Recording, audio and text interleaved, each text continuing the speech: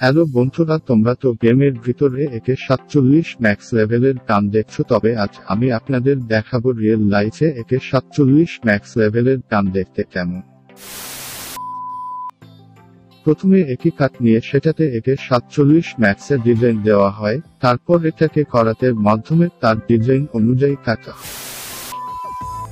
পরবর্তীতে একে সাতচল্লিশের সবগুলো পার্ট সুন্দর করে হাতের সাহায্যে তা ফিনিশিং দেওয়া তারপর এটাকে একে সাতচল্লিশ ম্যাক্সের মতো দেখাতে তার সবগুলো অংশ জোড়া দেওয়া হয় তা- তারপর এটাকে একে সাতচল্লিশ ম্যাক্স লেভেলের অনুযায়ী এটাতে রং করা হয় দেন আপনাদের সামনে রিয়েল লাইফের একে সাতচল্লিশ ম্যাক্স গান দেখতে যেমন बहुत तेज हो रहा है बहुत तेज हो रहा साथ